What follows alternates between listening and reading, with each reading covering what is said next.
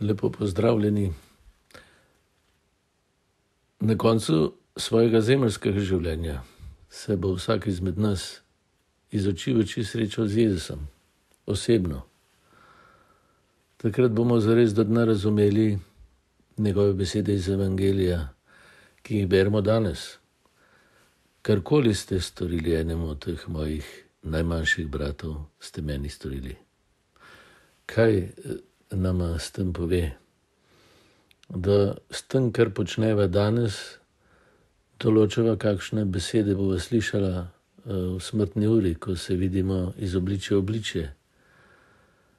Bo, bodo izrečene besede, pridite, blagosloveni mojega očeta, ali pa proči spred mene prekleti. Ampak tega ne bo govoril Jezus, to bo govorilo moje tvoje življenje. Različna usoda je odvisna od tega, ali ste mi ali mi niste pomagali v potrebi. Jezus se poistoveti z vsemi v potrebi. In eh, najno življenje je sojeno samo potem, kako se obnašamo do človeka v potrebi. Eh, do sebe in do bližnjega. Torej, Jezusova sodba nad nama je taka, je ta, kako, kakor se mi dva sedaj obnašava, drug do drugega, do drugih. Bog, ko prideva na cilj, ne bo storil drugega, kot eh, pokazal to, kar sva živela v dejanju. Ali sva njegovo ljubezen množila, delila naprej, eh, sebe spremenila v dar, ker nam je Bog ta dar podaril, zato da ga podariva, ali pa ne. Eh, torej, ta kralj, danes je praznik Kristusa, kralja. Je kralj, ki se poistoveti z zadnjimi, zavrženimi, obrobnimi, ubogimi njegov prestol je križ. Se pravi, tam sprejme zavrnitev, nas ne zavrne v tem, da mi zavrnemo sebe in druge kot dar. On nas počaka na križu, da bi z naše smrti naredil srečanje. Pravi, eh, zdaj, s tem se tudi poistoveti z vsemi, ki so deležni zatiranja, trpljenja, izkoriščanja. Eh, in naš odnos do njih je v resnici naš odnos do njega. Eh, v najmanjšem, v najbolj potrebnem, lahko prepoznava Jezusovo obličje. On se poistoveti z najbolj eh, trpečim. In v tem je lepota, in eh, dragocenost naše vere. To je najbolj realno, eh, realen odnos do življenja.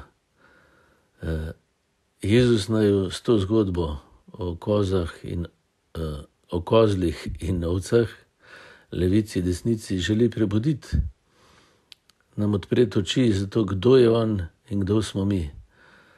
Pa zakaj je v resnici vredno živeti? Ne to je tako, se mi zdi preprosto.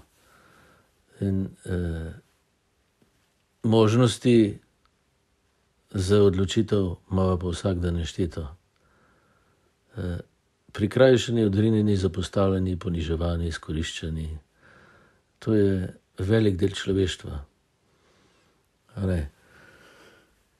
Ampak ti nosijo in držijo svet po konci, vsi, ki ne vrnejo zla za zlo, sodeluje z Jezusom Kristom, z njegovo ljubeznijo do človeka, pripomorijo, da je na svetu več dobrega, da je lepše, da je manj nesreč naravnih in vseh, ker naše zlo, pa naše hudobne misli in se to uničujejo tudi naravo. Uh, ustvarjajo klimo, ki je strupena ali pa ne.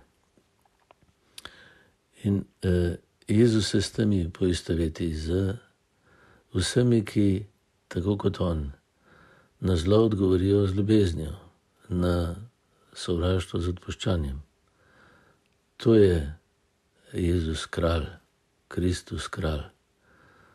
Eh, v cerkvi,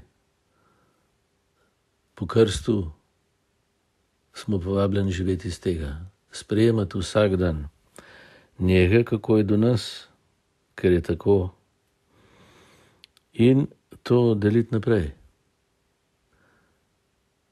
Njega, ki nas sprejema in nas vabi, da bi uh, srce oživelo, da bi ljubilo, da sprejme njegovo ljubezen in jo deli naprej. To je bistvo cerkve. Uh, to je Kristusovo telo, da danes tudi mi, tako kot naš kralj, na rekovajih, ker ni posvetni kralj.